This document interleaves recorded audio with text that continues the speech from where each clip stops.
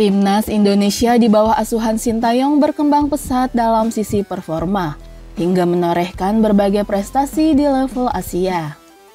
Hal ini setelah Timnas Indonesia memastikan diri lolos ke putaran kedua kualifikasi Piala Dunia 2026 zona Asia, setelah mengalahkan Brunei Darussalam dengan skor 12-0. Sintayong banyak menorehkan prestasi yang luar biasa, Salah satunya membawa timnas Indonesia berhasil melaju ke Piala Asia U23 pertama kalinya dalam sejarah sepak bola Indonesia. Sintayong berhasil membuktikan keraguan atas dirinya, usai banyak kritik karena belum pernah mempersembahkan trofi Piala AFF bagi timnas. Ternyata timnas Indonesia U23 berhasil menyapu bersih seluruh laga di kualifikasi Piala Asia U23. Pelatih 53 tahun tersebut mengarsiteki timnas Indonesia senior hingga kelompok umur yang memberikan perubahan signifikan dalam prestasi tim Garuda di kancah Asia. Di mana salah satu faktornya adalah kehadiran para pemain keturunan yang kini membela timnas Indonesia. Amunisi baru, motivasi baru, dan para pemain yang memiliki jam terbang tinggi memiliki pengaruh yang baik ke para pemain lokal timnas Indonesia. Tak hanya itu, Sintayong juga memotong generasi pemain timnas Indonesia untuk memberikan kesempatan para pemain muda. Terbukti munculnya pemain-pemain muda seperti Asnawi Mangku Alam, Pratama Arhan, Marcelino Ferdinand yang menjadi punggawa timnas Indonesia.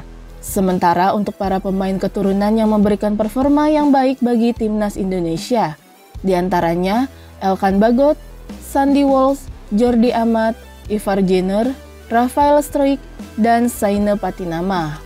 Naturalisasi timnas Indonesia dipuji media Korea Selatan. Disebut-sebut tidak asal dalam menjalankan programnya tak seperti Cina.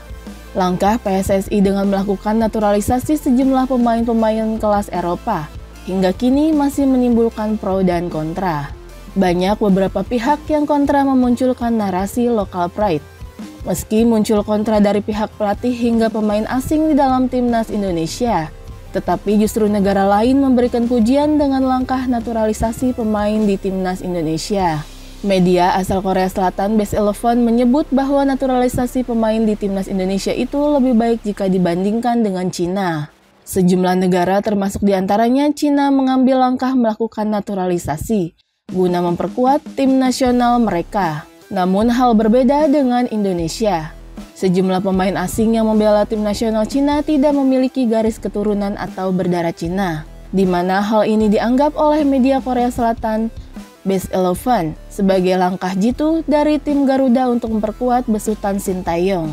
Tak seperti di Cina yang mengeluarkan banyak uang untuk pemain tidak terkait. Sementara di Indonesia, para pemain yang masuk untuk dinaturalisasi merupakan pemain keturunan yang lahir di Eropa, khususnya Belanda atau Belgia, seperti Sandy Walsh, dan hal itu diulas oleh media Korea Selatan tersebut.